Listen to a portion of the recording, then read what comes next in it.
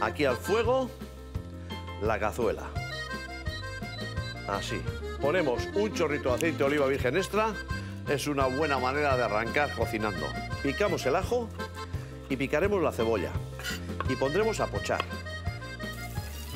El ajito ya lo tengo. Picamos bien picadita la cebolla. Para que luego casi ni se sienta, ¿eh? Luego esto ya a la hora de comer ni se nota. Le pondremos también una hojita de laurel. Las mollejas tienen una telilla que así estirando, sin muchos misterios, las otras las tengo limpias, ¿eh?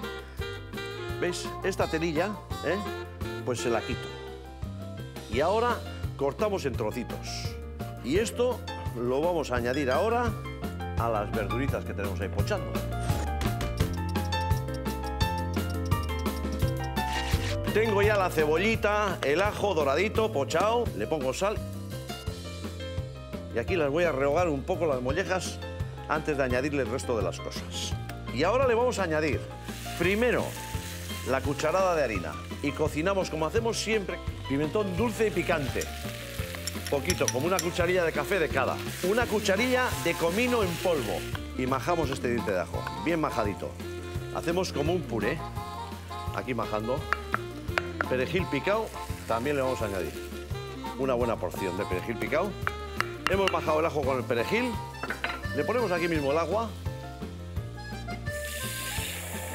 Así.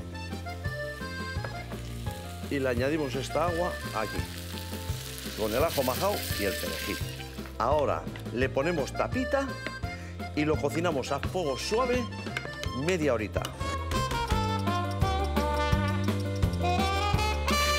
Mira las mollejas a la zamorana. ¿Eh? Qué aspecto sensacional, ¿no? Está probado de sal, está riquísimo. Ponemos así. Tres cucharaditas aquí. Ahí. Limpiaremos las gotitas que se me quedan alrededor. Y este sería el plato, con la ramita de perejil que le vamos a poner.